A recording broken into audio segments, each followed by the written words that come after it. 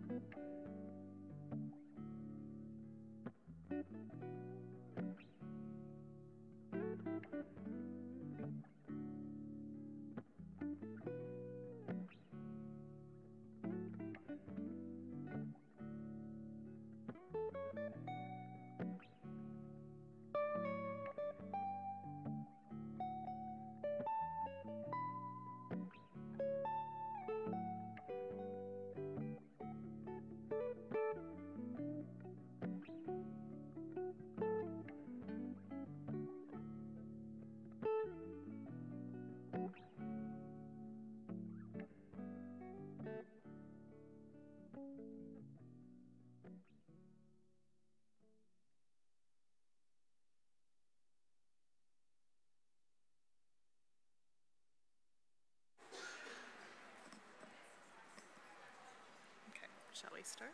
See if we can. Okay. Good afternoon, everyone. Welcome to the afternoon session. We know that people are going to continue uh, coming in over the next few minutes because we're running a little bit late, but we do want to start uh, to give all the presenters their allotted time. So this afternoon session is strategies to enhance hepatitis C screening, and we've got a fantastic international lineup of speakers. And we're going to um, invite our first speaker up to the stage.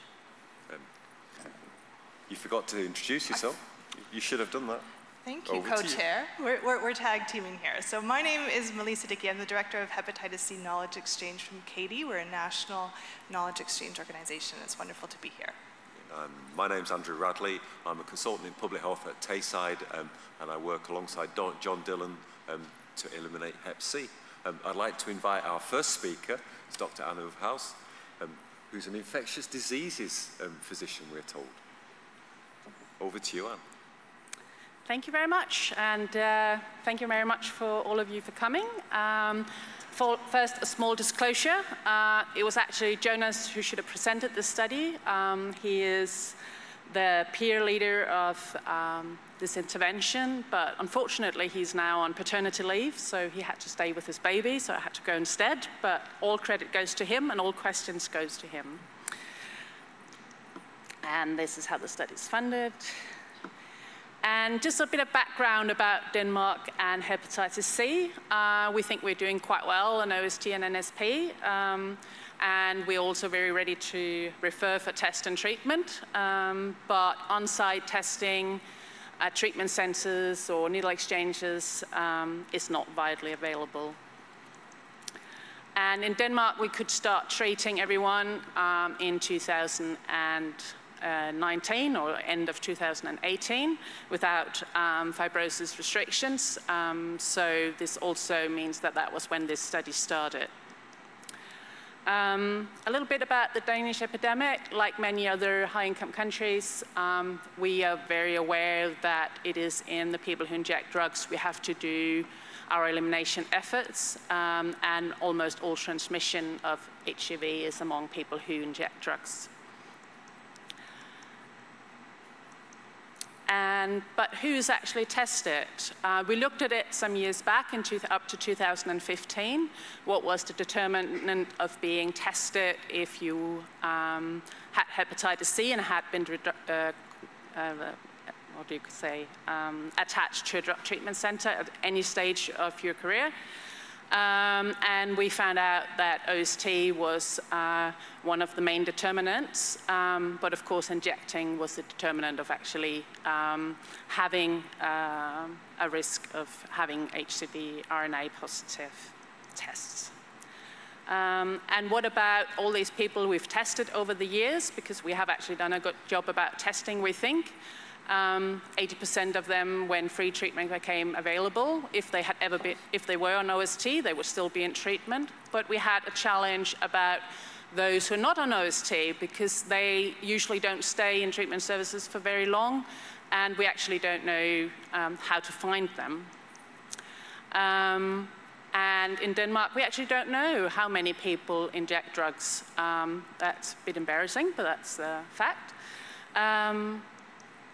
And this is why this model of care uh, was very excited um, exciting for us to set up in 2018-19 um, because there was the first peer-driven intervention about reaching people uh, on the street to provide test and linkage to care.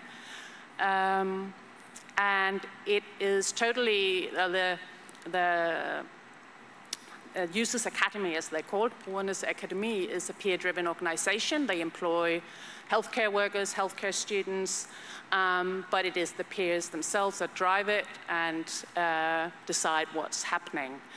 And they chose that this um, test and treatment intervention that should be at the open drug scene in Copenhagen, uh, right next to a safe injecting room, um, and also very close to one of the big shelters in Copenhagen. And the testing model is quite simple. It's an antibody um, test from Intec, uh, and then uh, we had a GeneXpert machine, uh, a finger stick um, model from Cepheid. Uh, and then we had, unfortunately, as there's prescriber restrictions in Denmark, we could not treat at the van. Um, but we did a fast track clinic at the nearby hospital, so referral were basically just you put, picked up the phone and say, we're coming tomorrow, and then they were ready with a fast track for that person if they wanted treatment as soon as they, was, they were diagnosed. And I think that's been absolutely critical for actually getting people through to treatment. And that was actually one of the places where they quickly came up with good solutions, like they had a small stack of phones and phone cards that came with the positive test and say, here's your positive test, here's your phone, so we can uh, call you and be sure that you're ready for your pickup for the appointment. And this is how it went um, from May 2019 until October 2022. We've screened about 1,000 persons, some more than once, and found 114 RNA positive. And 80 of these have initiated treatment. And Jonas just called me and saying now 60, uh, 76 persons have completed treatment instead of 75, so it's still ongoing. Um, and those that were not able to go through to treatment um, was unfortunately about some of them was not having um, a Danish social security number, which um, meant we couldn't treat them. Uh, then there were some who came a little later for uh, uh, their test at the hospital and had cleared, some died, and some didn't want us to be treated or lost to follow up. Um, and I would say that uh, all this in the red box uh, is really due to the effort the peers made. Sometimes it took a year to get into treatment, but they never gave up on people. Uh, in the contrary to many hospitals. Um, so they kept them on their list and just waited until they surfaced somewhere and, and, reassumed their contact and got a new hospital appointment if they had not uh, been able to persuade them to go to the first one. Um, see. And did we actually reach some of these people that we thought we would reach, like people who are not connected to drug treatment services, people who did not inject um, just op opioids. Um, and this is just a, a very brief uh, overview of um, those that were actually HCV RNA positive and majority male. Uh, we have a quite old epidemic in Denmark, so median age of 46.5 years, which is not because we reached the wrong people, but that's just the way it, it is in Denmark. Um, most of them uh, homeless or unstable housing, uh, and most of them very recent uh, injectors. And 50% of them with some sort of mental illness. And this is a bit more busy, um, but it just illustrates uh, that we did engage with people of many different nationalities and origins, um, and that the majority of people were actually above um, 40. And did these people uh, that participated in the study differ from those who were RNA positive?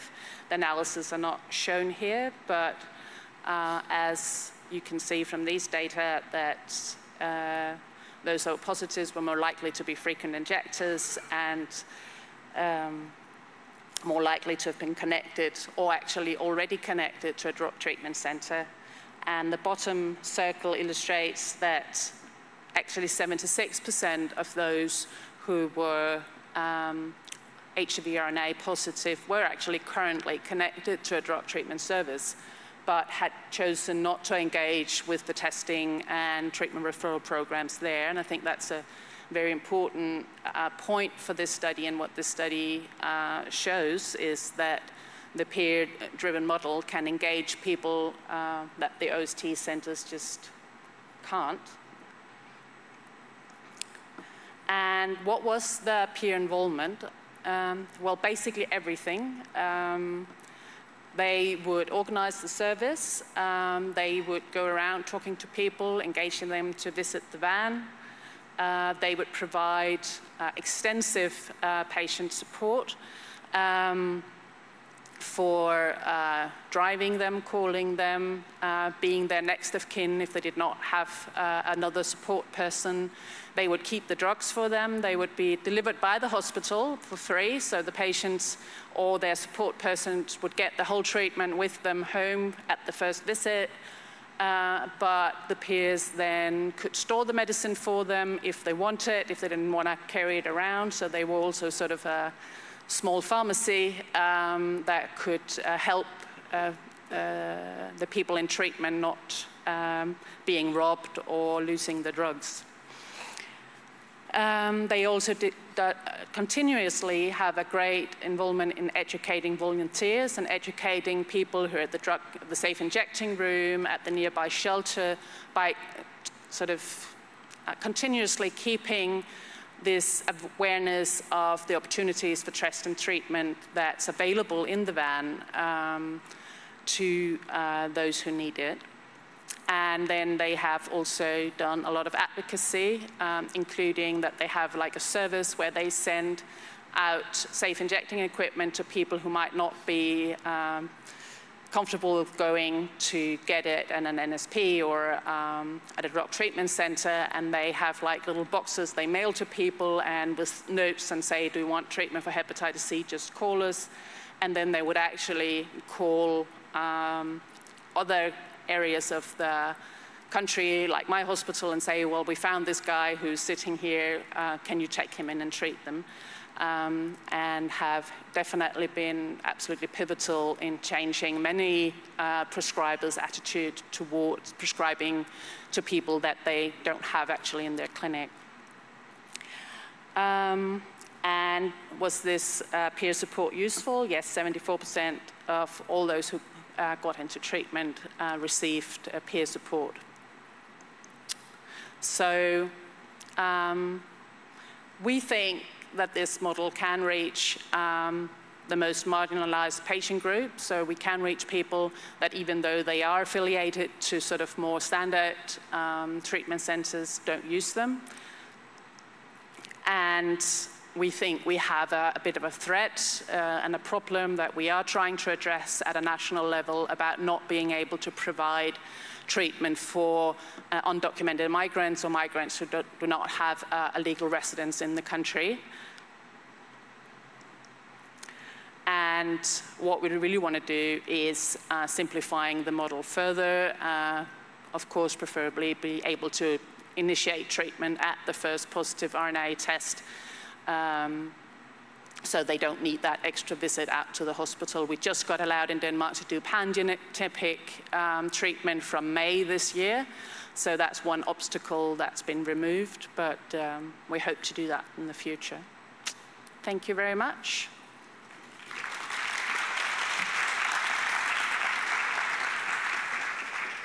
Thank you very much for that. Um, are there any questions for our speaker? Um, I, would like to say, um, it seems plain to me, I've heard it several times during the conference, that the cohort who most need care are an aging population, they're homeless, they have mental health issues, and, and that the way to reach them is by local care provision. Um, do you think that's right? Sorry, can you repeat the last part again? Um, providing care where the people already are, rather than making them travel to a hospital. Well, I think it, it's, um, well, at least 75% of the population here would probably not have gone to the hospital without this opportunity. So I think it's having these kind of services, and I know they come in many forms, but I think it, they're absolutely critical if we want to reduce uh, prevalence in people who inject drugs because it's just not feasible in any other way. Denmark's a highly digitalized service. Do you know, if you don't uh, use your digital health services, you're if you don't have a stable phone or an email, you have very limited um, possibilities of actually accessing um, health services. So, so these kind of, uh, even in a, a, very high income country, um, are essential for elimination. It's a really great presentation. Thank you very much for that.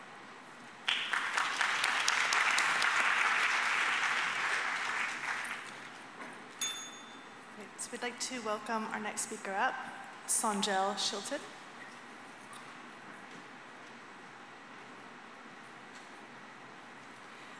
Great, so welcome Sonjelle. With over 15 years experience leading programs and implementation science, Sonjelle leads FIND's hepatitis program. Sonjelle started her career in public health as director of operations of a community-based health outreach organization in rural Ghana, and this cemented her dedication to collaboratively designed public health approaches with rigorous data culture. Great. Thank you. Thank you. And thank you everybody for your time today. So I'll be presenting on two randomized controlled trials to measure the impact of hepatitis C self-testing in key populations in Georgia and Malaysia, and I am presenting on behalf of our entire uh, study team. So some important notes before we get into the details of the study. When we are talking about hepatitis C self-testing, in this context, we are talking about antibody testing. And it's not here to replace other testing modalities from which the majority of the population learn their status. And it's not a definitive test. So very much like HIV self-testing, which is kind of like a step zero in the algorithm, hepatitis C self-testing eh, would need to be confirmed using the national algorithm. And right now, the hepatitis C self-tests that we'll be speaking about are research use only. They are not yet available on the market, but uh, the manufacturers are going through the process for stringent regulatory authority approval, and we do hope that will be available soon. So in July 2021, uh, WHO issued their first ever recommendation on hepatitis C self-testing that it should be offered as an additional approach to HCV testing. And this was a strong recommendation on moderate quality of evidence. And the link to the recommendation is here, as well as the link to a um, community perspective on the value that hepatitis C self-testing could bring. So to speak of the two studies, in the country of Georgia, we are working with the National Center for Disease Control, two harm reduction sites, and two sites that provide LGBTQ plus services. In Malaysia, we are working with the Ministry of Health, Malaysia AIDS Council, and DNDi. Our primary objective was to assess the impact on uh, hepatitis C self-testing on the uptake of antibody testing. So we looked at this through the number and estimate of the proportion of participants who report completing the HCV antibody test, and we were hoping to see that the self-test would increase uptake of testing compared to the standard of care by 20%. We've linked here to the two protocol papers that are published, as well as the clinicaltrials.gov um, study registration. So the overall um, structure of the two studies is very similar. Um, we were integrating hepatitis C self-testing onto an existing online platform that already existed to provide HIV self-testing in these countries. So interested, interested candidates could go to an online platform and complete a short online questionnaire for eligibility.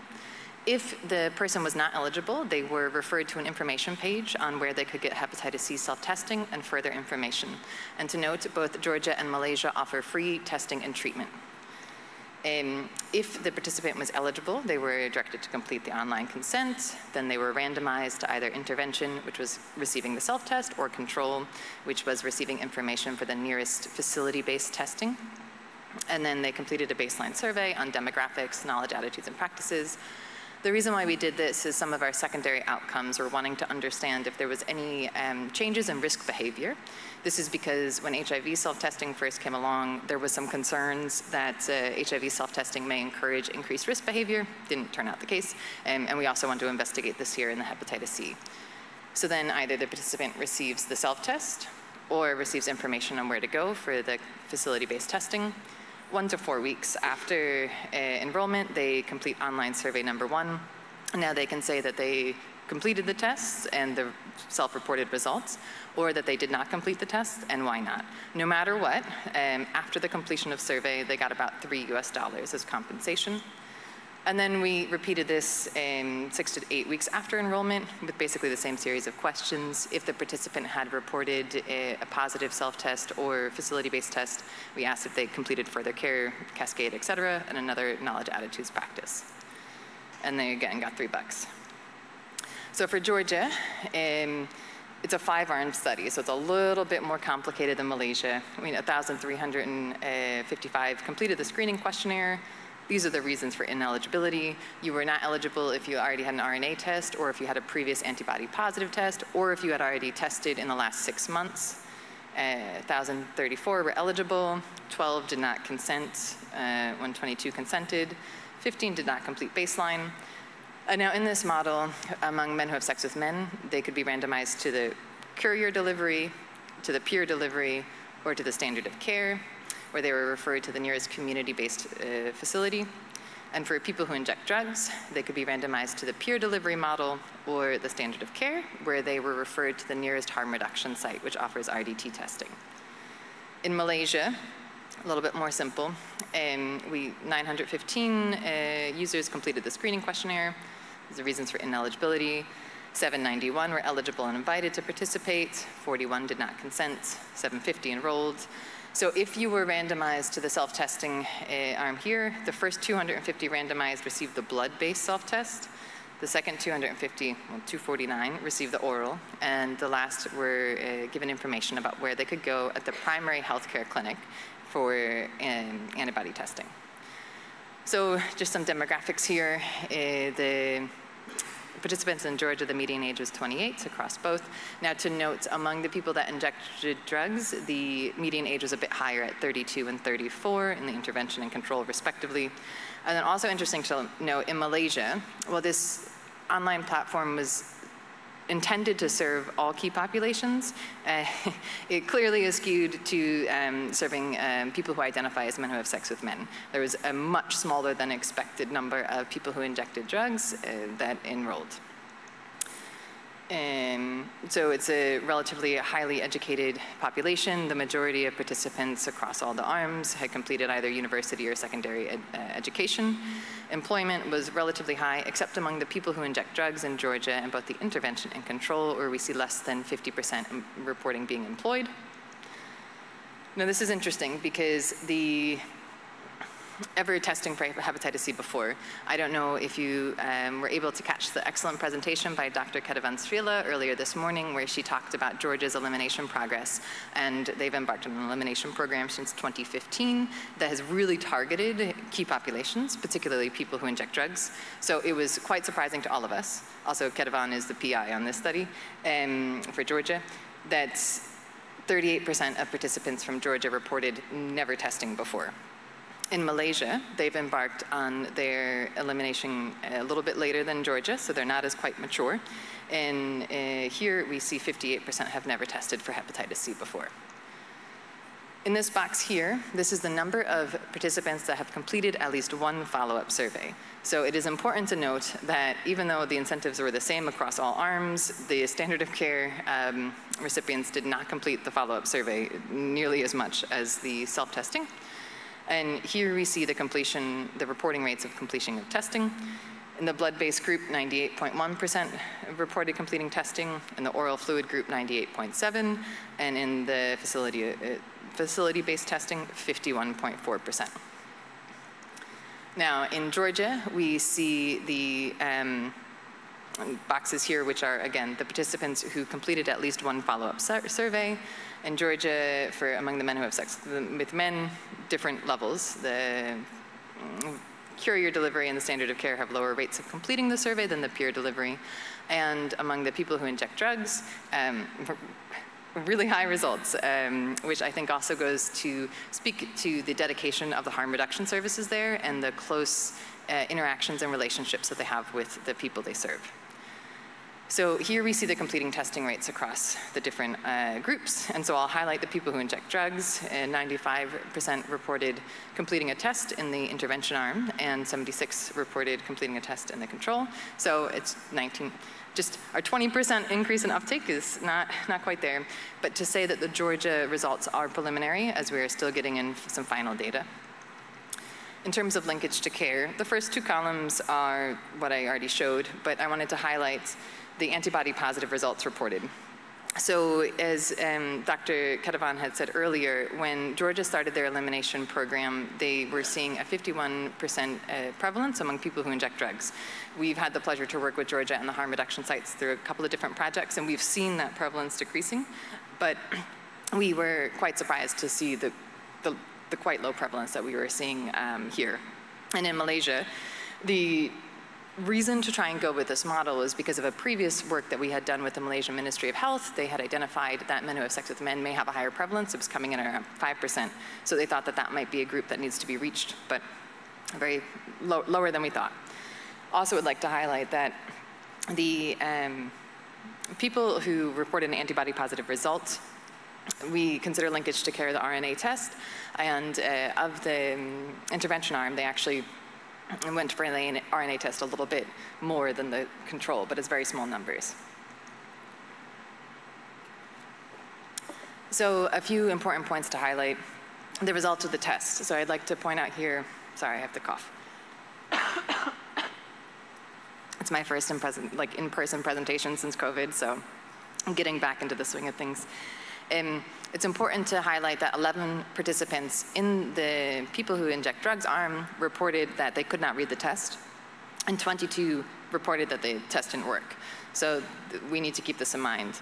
Additionally, 12 participants reported that they could not understand the results of the test in the uh, intervention arm among people who inject drugs, compared to five in the standard of care. And the majority of participants, 80% across the board, with the exception of the people who inject drugs in the standard of care arm, said that they would uh, like to use self-test again if they had the kit and instructions on how to do it. And so some conclusions. The evidence suggests that hepatitis C self-testing increases the uptake of antibody testing. Additional supportive materials may be needed to ensure that people who inject drugs who use a self-test can interpret the results in confidence. And uh, there's a lot of considerations on costs, and we'll be working with Dr. Josephine Walker at the University of Bristol to do a cost effectiveness analysis. So I'd like to say thank you very much, and I'm keen to answer any questions.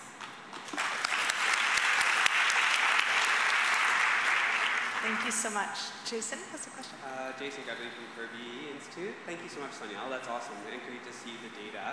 Um, I'm just curious, it was encouraging that the testing uptake among people who receive saliva versus finger stick, I'm, I'm pretty sure you presented that it was similar. I was just wondering, have you guys looked at the data? I'm sure you collected data on the acceptability. And have you looked at the acceptability data yet on the people who had saliva versus finger stick, and was it similar? Yes, that's an excellent question. I mean, and so I think that this comes up also in uh, with HIV self-testing. There's a lot of concerns that people may not be keen on doing a blood-based self, blood-based self-test at home. Oh, however, this like varies regionally, right? In some sub-Saharan African contexts, they actually prefer a blood-based test as, as well as um, among men who have sex with men in China because they feel the blood-based test is more accurate. So here we see uh, very high completions of testing, reported completion about the blood and oral. And before we did this study, we also did some feasibility and acceptability studies in Malaysia um, among these population groups. And there was, before they did the test, there, they, there was a preference for oral, but then they actually did both self-tests in the controlled setting. And afterwards, they said actually both were fine. Great. Well, I don't think there's any more questions. Thank you so much. Thank you.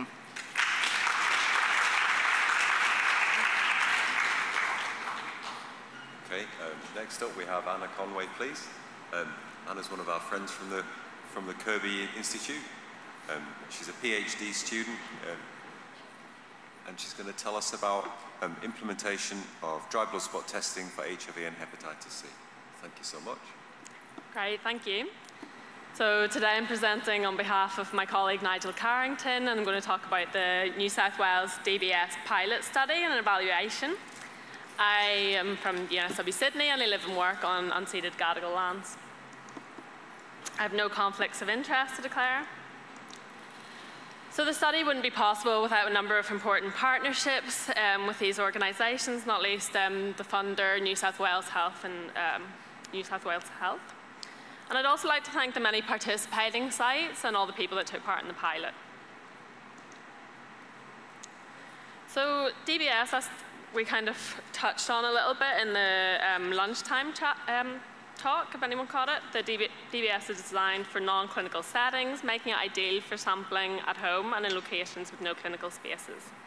Equipment's minimal, minimal, portable and safe, and the sampling process is relatively simple. So non-clinical staff, including those working in NSPs and peers, can confidently use um, DBS, as well as the clinical staff who aren't accredited for venipuncture. Um, so yeah, it's about the staff being able to offer the test to people when they have the opportunity. DBS is a good opportunity or is good um, option for people where venous testing can be painful or traumatic as well. And the tests performed in the New South Wales DBS pilot are for HIV and or hepatitis C RNA. Once the lab receives the card, the results take approximately seven days to generate. So the eligibility criteria for the pilot was um, New South Wales residents over 16 years old. Um, HIV eligibility was um, people identify as gay or other men who have sex with men. Also people born in Niger, Africa with sexual partners from Niger, Africa, and also anyone who was eligible for a hepatitis C test was also eligible for HIV. The hepatitis C test eligibility was people that identified as Aboriginal and or Torres Strait Islander, people that ever injected a drug, people that had ever been incarcerated, or people that had experienced homelessness. So there's two pathways to participate in the study, online self-registration, where the participants register online, a sample kit is sent to them, and after taking their own sample, they can post it back to the lab. Assisted sampling happens through the registered sites, such as the NSP or the Drug Health Service, or in prisons where a staff member assists the person, usually um, the person is engaged with the service, and they're assisted to register um, and take a finger prick blood sample. The site then sends the sample back, back to the lab. And I should note that uh, at the prison sites in particular, it was run by Justice Health as a blitz model. So testing large numbers of people, usually in the yard, um, of over a few days at one prison site. And for the at-home arm, the negative results are sent by automated text message, while the positive results are provided over the phone. The nurse helps link people to confirmatory testing and treatment. In the assisted sampling arm, the sites can elect to provide results to the client population themselves. And what I'm presenting today is a midterm evaluation of the pilot. So the evaluation uses the REAIM framework, which is useful to frame the translation of the um, research into practice. So there's two broad domains. Um, the reach and effectiveness are grouped under individual, um, or sorry, individual factors, and then we have adoption, implementation, and maintenance, which work more towards the multi-level organizational factors. And the impact of um, the um, intervention depends on all of these elements individually and in combination. Although the pilot is still ongoing, the analysis refers to the first few years, so just up until the end of December 2020. And this analysis also presents only the most recent testing episode. So firstly, looking at REACH, this slide summarizes testing in the pilot for both HIV and Hep C. The majority of people participating in the study tested for both, um, both of the diseases. So you can see um, hepatitis C testing was only introduced at the beginning of uh, 2018, towards the end of 2017. And then um, it increased every year except for the first quarter that was impacted by COVID, so the second quarter of 2020.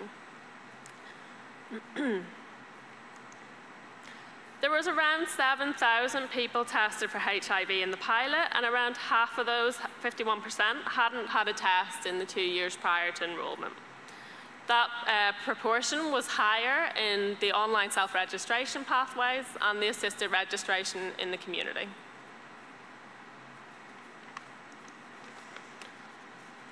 And then looking at the same for people tested for Hep C, there was 4,000 people included in this analysis, and 45% had no tests in the two years prior. That was higher in online self-registration, although uptake was quite low in online self-registration for Hep C. And it was around the same proportion for assisted registration and prison. That sat around 45% too. So this table shows who was tested in the pilot. There was two, the two arms of the pilot recruited very different populations. Online self-registration uh, had uh, promotional methods that were mostly targeting who have sex with men. Uh, people at high risk of HIV, and um, a high proportion of people born outside of Australia. Half of the people participating at the sites, on the other hand, um, were people who inject drugs, who had recently injected drugs. And within assisted registration, the bulk of the testing, 57%, were te tests, um, were participants who were incarcerated. And then looking at the effectiveness, so who actually got a new HIV diagnosis, out of everybody tested for HIV, 0.1% or nine people had a new diagnosis, and eight of those people had participated via online self-registration, so via the postal pathway. And one person was diagnosed when incarcerated. All but one of those people initiated HIV treatment. That one person returned to their home country before initiating treatment. And um, out of those nine people, there was one person who had recently injected drugs. Overall, the proportion of people with current Hep C infection in the pilot was 14.7%. Current Hep C infection was lowest in the online self-registration pathway, and it was higher in the group of people identifying as non-binary, but it was a relatively small group of 50 people, of which um, 12 were identifying as non-binary. Prevalence was also higher in Aboriginal people and people who had recently injected drugs. From the 878 people that were diagnosed with Hep C in the pilot until 2020, 45% initiated treatment um, within six months. When stratified by pathway, the proportion of treatment initiation varied widely, and treatment initiation was lowest in the people who registered online and self-sampled at home. But as you can see, there was a few people that were diagnosed in this um, pathway, 15. Uh, treatment uptake was highest among people diagnosed in prison.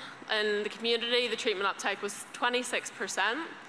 And it should be noted that this is based on the uh, reporting from the sites that participated in the study. So if somebody uh, went on to initiate treatment at a different site, it's not based on linked data, so um, the clinics may not be aware of that. We also looked at implementation and asked what proportion of the returned DBS cards had sufficient sample. Sufficient sample was defined as at, at least uh, three full spots on the DBS card. So over the course of the study, 90% of the cards had 90% um, of the cards had the three full spots, and it was higher in the assisted registration pathway than the online self-registration. So uh, towards the beginning of the pilot, when there was only the online registration option, you can see that the proportion of um, adequate samples was quite low. So identifying this, uh, the team introduced a visual aid to assist people testing at home. And with that, then we saw an increase in the, the proportion of um, complete samples submitted. So in conclusion, the pilot reached uh, people who hadn't recently tested for Hep C or HIV. Although there was a low uptake of um, Hep C testing via the online self-registration pathway, there's um, the studies now looking at um, involving drug use organizations to promote um, this among people who inject drugs. The high number of tests in prison settings, and there was comparably high um, treatment uptake in the prison setting compared to community and online self-registration. Treatment uptake for Hep C testing in the community is lower than in prison, but comparable with standard of care. So the implications, as I said, um, the Hep C testing in prisons was um, involved blitzes, so testing large numbers of people um, across a few days. And th that kind of model could increase diagnosis and treatment uptake. Uh, the, uh, the, promotional strategies needed to improve participation of people in inject drugs um, could increase uptake and diagnosis and online self-registration, but there's still issues around um, treatment initiation in this pathway. And further investigation is needed to understand issues with treatment uptake at home and in the community. Thank you very much.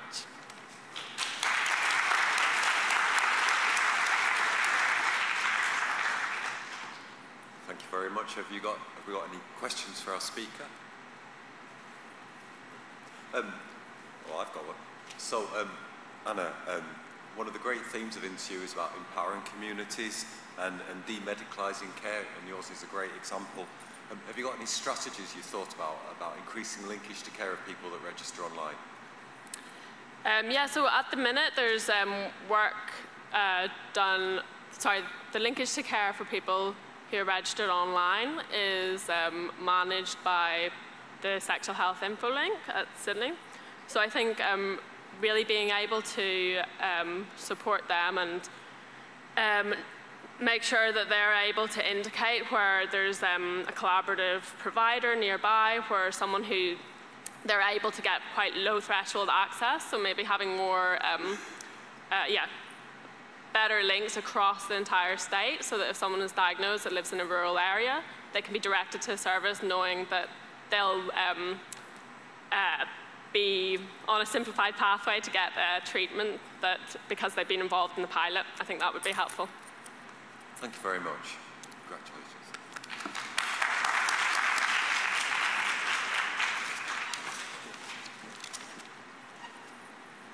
We'd like to welcome our next speaker up to the stage, Zoe Greenwald. So Zoe Greenwald is a PhD student in epidemiology at the University of Toronto, and she's a research coordinator at the Center on Drug Policy Evaluation. And Zoe's going to be presenting on an HCV RNA point-of-care testing study to measure HCV prevalence and incidence among service users of an integrated supervised consumption service in Toronto, Canada. Hi, uh, thanks so much. And just an advance warning, this is a three minute presentation, so the pace is going to be quick, but if you have any questions, I'll be pleased to follow up afterwards. So I'm pleased to present this project on behalf of my co-authors. Um, a bit of background to begin with. So there's novel opportunities that are increasing access to Hep C testing and care for people who inject drugs. Importantly, point of care HCV RNA testing is a major development. It's important to have HCV RNA tests due to the high expected prevalence of chronic Hep C among people who inject drugs. And the introduction of point of care testing has really revolutionized the accessibility of care and decreased uh, issues with linkage to care. Um, having decentralized care, uh, and particularly offering care at integrated supervised consumption services, is important for reaching people who inject drugs who might not be on OAT or might not be connected to other harm reduction services. So with these two developments in mind, they've really revolutionized linkage to care and the possibility for HCV treatment and cure among clients of supervised consumption services, uh, also known as drug consumption rooms. So the objectives of this study were therefore to evaluate the feasibility of offering point-of-care HCV RNA testing and subsequent linkage to care at an integrated supervised consumption service, and as well to evaluate Hep C prevalence and incidence among service users. So this study was set in Toronto uh, between 2018 and 2021. Earlier results from this study were presented at past INHSU conferences that looked at the baseline effects. So uh, in this presentation, we're specifically looking at the follow-up and incidence results. Participants in the study were uh, service users of the supervised consumption sites, all had current injection drug use, were 18 years or older, and could not be currently on Hep C treatment. Uh, we had a nurse conduct point of care HCV RNA testing right within the supervised consumption site. And individuals were uh, linked to co-located care if they were HCV RNA positive at baseline. And if they were HCV RNA negative at baseline, they were offered repeat testing every three months for up to four visits. Um, of note, uh, the Cepheid Xpert uh, HCV viral load test, which was used in the study, is for research use only in Canada at this point in time and is not yet authorized. Um, and this also means in Ontario, due to the dispensation guidelines and reimbursement guidelines for HCV treatments, uh, same-day starts weren't possible because it is required to have a proof of HCV chronicity before initiating treatment. Um, in our analysis, we did disruptive statistics and also for the HCV incidence, uh, included individuals who are HCV RNA at baseline and had at least one follow-up visit. Uh, people with lived experience were involved at multiple stages of this project, um, contributing to study design via the Patient Advisory Board, and also employed as program staff and as an Indigenous health promoter at the supervised consumption site and within the co-located HCV program. Um, and I'll just mention uh, what's unique about this service is the supervised consumption site is co-located at the South Riverdale Health Center, um, which has a comprehensive HCV care program that's been running for over 15 years. So in terms of our results, 124 uh, SES clients participated. Um, individuals had a high rate of injection, uh, daily injection drug use of 68%, and 73% were experiencing unstable housing at baseline. Uh, at baseline, the prevalence that was observed for HCV was 44%. And over the follow-up period, we observed an HCV incidence rate of 34 per 100 person years. Uh, and this was among the 37 individuals who returned for follow-up testing. 10 individuals seroconverted, and our HCV incidence up to 15 months was 39 percent. Looking at the cumulative HCV care cascade, including both infections at baseline and over follow-up, 52% were HCV RNA positive, and of those HCV RNA positives, 67% were linked to care, 67% uh, treated, and 86% attained SVR. Of note, the linkage to care was much higher among the people in the incident arm who uh, tested positive over follow-up, which indicates the value of offering repeat testing so individuals can really track the moment that they have seroconverted and get care pulled in at that point in time. So the significance of this is that uh, it was feasible to offer HCV RNA testing within the supervised consumption site, and the high HCV prevalence and incidence that was observed among service users really highlights the importance of having ongoing HCV care offered among harm reduction services. So these are our acknowledgements. Thanks to all the co-authors, the study team, our partners. Um, I'll disclose that this was supported by a microelimination grant from Gilead, and there was in-kind support from Cepheid. And if you have any questions, uh, please feel free to send me an email.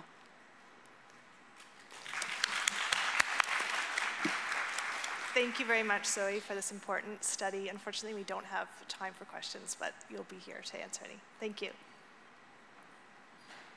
Okay, our next speaker is Dr. Falade-Nwulia from John Hopkins. Welcome. Thank you very much for the opportunity to present this work on behalf of my collaborators. This work is supported by AbbVie. In the US, people who use drugs are disproportionately impacted by hepatitis C, but have the lowest hepatitis C treatment rates. And this is because there's a disconnect between where people who use drugs access care and where hepatitis C treatment is routinely offered. In the US, to get treatment for substance use disorders with methadone, you have to go to a site called an opioid treatment program. These are very highly regulated sites where you can receive your treatment, and medical records at these sites cannot be accessed through the routine healthcare system so that OTPs are separate from the routine medical healthcare system in the US. The good news is that people who use drugs go to these sites multiple times a week and could potentially also access hepatitis C treatment at these sites. Models for routine integration of hepatitis C care into OTPs are needed. The rapid hepatitis C study is a hybrid type 1 effectiveness implementation randomized controlled trial evaluating hepatitis C treatment with glecaprevir, pibrentasvir at OTPs with peer support versus standard of care referral for off-site hepatitis C treatment. We did a pre-implementation evaluation of acceptability, appropriateness, and feasibility of hepatitis C integration into OTP sites. This was done through a survey of clinical leadership at five OTPs across Baltimore, Maryland, Birmingham, Alabama, San Francisco, California, and Toronto, Canada. It was conducted August 2021 to May 2022, and we used the AIM, I AM, and FIM um, item surveys, which are strongly considered as markers of post-implementation success.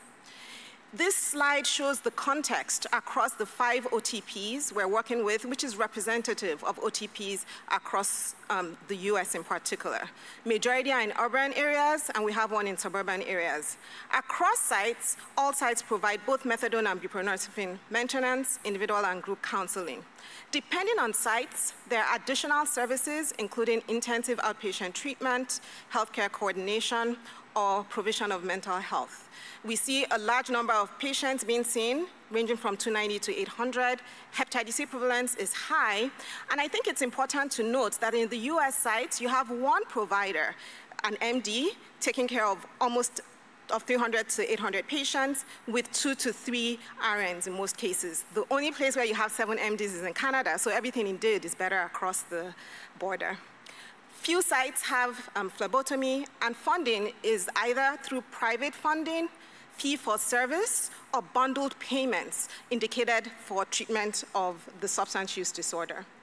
Across measures, we see that if we score measures on a scale of one to five, where one is complete, completely disagree and five is completely agree, acceptability of integration of hepatitis C treatment into OTPs was high, with five overall.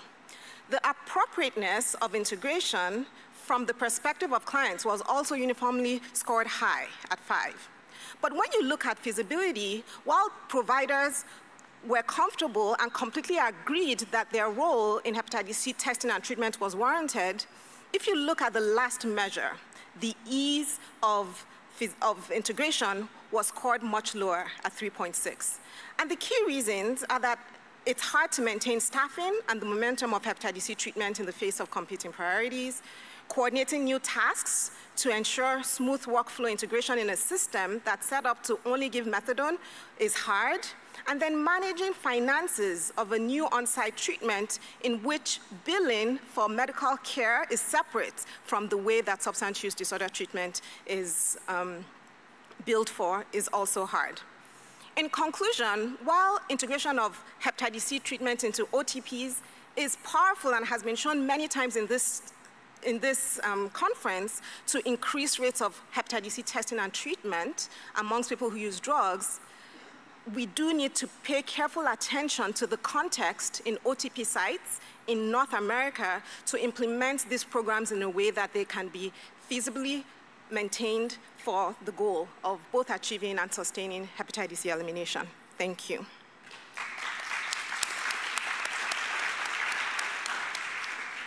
Okay. Um, does anyone have any questions? No? I think you're off the hook. Thank, Thank you. you very much. So we'd like to um, welcome our final presenter for this panel, Cristiana Merendero, who, be, who is a neuropsychologist working in harm reduction since 2015, currently coordinating a Housing First program for people who use drugs and experience chronic homelessness, uh, and a point of care hepatitis C screening and treatment combined with outreach work, a Portuguese NGO, Crescer. Thank you. And thank you all for your resistance. Um, so I'm a psychologist working at Crescer. Crescer is a harm reduction-based community association in, in Lisbon, Portugal. Uh, I present here the Reach You project, uh, a peer and nursing-led outreach team which provide a centralized HCV-related care to the most marginalized people in Lisbon. And I really want to begin this presentation by acknowledging and thanking um, all the, the people who use drugs, the people who experience homelessness, and the migrant people who have participated in this project. Uh, this is the declaration of interest. And uh, the Reach project is a completely decentralized intervention which aims to overcome barriers to HCV care in uh, social excluded populations that may not be connected to any other social, health, or even harm reduction service. Based on proximity and relation, um, we develop an on-site, very individualized intervention from testing to treatment, trying also to address people's social needs uh, related to shelter and food during this uh, process to respect the difficulty that is for vulnerable people um, to interrupt their survival uh, activities to take care of their health, we develop a side project named Bring a Peer, supported by AbbVie. Through this, we provide financial incentives to people who participate uh, in the Reach You project and uh, also to informal peers uh, who promote the connection uh, with other beneficiaries uh, of Reach You.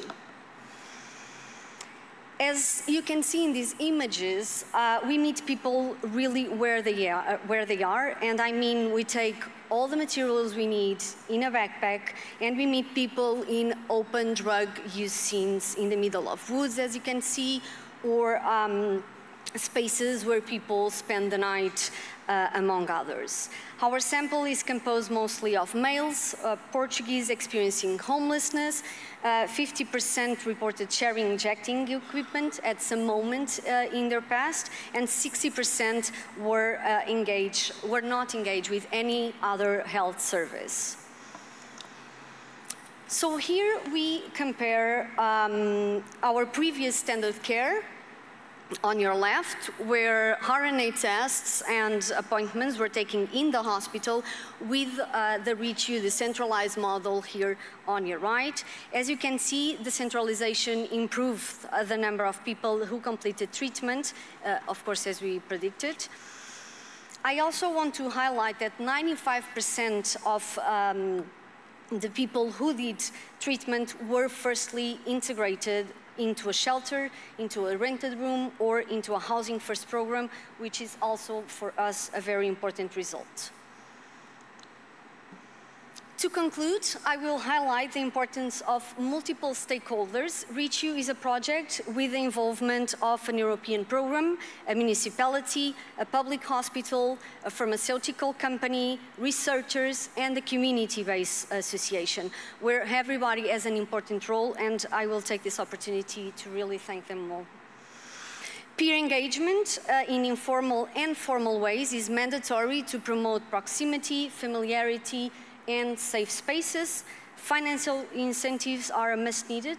Um, take care of health should not put question, in question the daily income uh, of an already vulnerable person. Uh, our focus is always uh, on the person in, and uh, their quality of life, perceived quality of life, and for this reason, HCV care and social care go hand in hand. Um, and all this just makes sense uh, if we reach people, and for that, decentralization of care is essential. Thank you so much.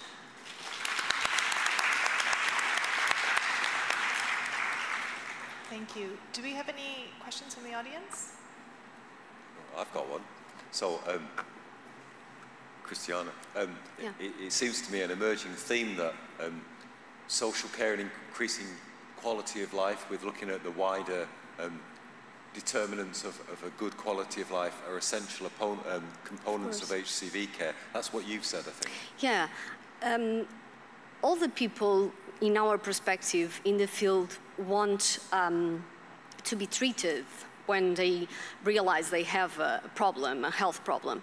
Uh, but the question is, they have um, social necessities that are so basic, like related with shelter, where I will sleep this night, uh, what I will eat today. They need to prioritize this um, and not their, their treatment. So these projects need to help people to do not need to choose between one or another. Yeah, we've talked about um, in, in, this conference about regaining citizenship and about being included in society. I think that's a really good example of what we need to achieve. Thank yeah. you very much. Yeah. Thank you.